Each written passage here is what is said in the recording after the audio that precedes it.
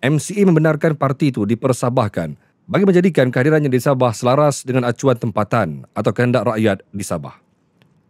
Presidennya Datuk Seri Wee Kasyong berkata, MCA Sabah diberi autonomi termasuk memilih pemimpin sendiri dan memperjuangkan perjanjian Malaysia 1993 atau MA 63.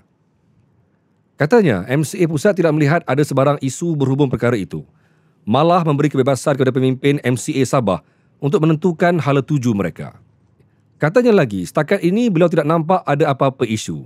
Semua dibincang mengenai isu di Sabah. Beliau berkata demikian pada sidang media selepas merasmikan mesyuarat agung tahunan MCA Sabah di Kota Kinabalu Sabah hari ini.